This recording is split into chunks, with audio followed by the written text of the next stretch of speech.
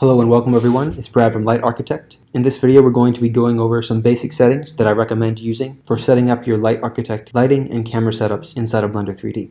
Let's get started. So first, go ahead and open Blender. As I said in the last video, I like to start out with a clean slate. So go ahead and press B and drag to select all these items and press X to delete.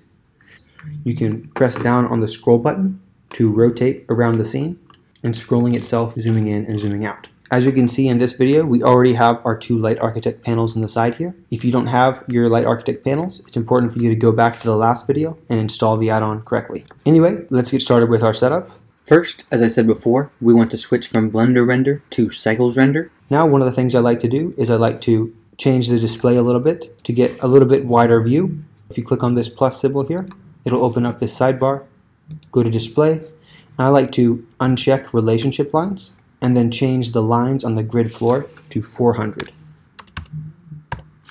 As you can see, now we're going to look at a much bigger scene.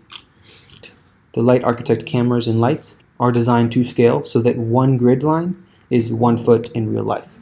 So as you can see, if we add a Jimmy Jib 6 feet, it's about 6 feet long, as it should be. Go ahead and delete that by X.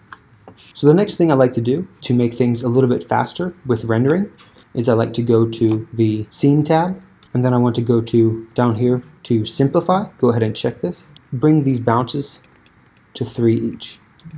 This will make your lighting a little bit less accurate, but it will make it much faster.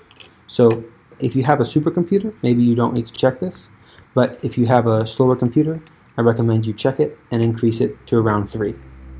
Anyways, that's it for this quick video. In the next video, I'll be showing you how to import third-party environments from websites such as Sketchfab or BlendSwap so that you can start experimenting with your framing and lighting inside the program. I'll see you guys next time.